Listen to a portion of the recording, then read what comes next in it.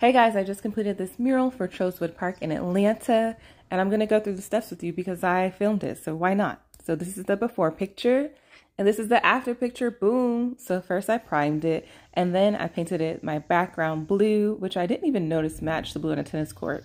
Then I sketched it out, and then I started to go in with my colors. Now this part I didn't get too much filmed because it's really like a personal whole vibe process for me. So just a few clips and then one of the friendly neighbors came and recorded me so I got this awesome footage which I never get to get which is so cool. And then here I am writing the letters. I am spelling, can you guess? Can you guess what I'm spelling? Chosewood Park. And we're going to speed through this part because otherwise you'll be here all day with me. This takes way longer than it looks like. We're almost done. We're almost done. And we're there. All right. And this is some more footage that a neighbor got of me. Shout out to you.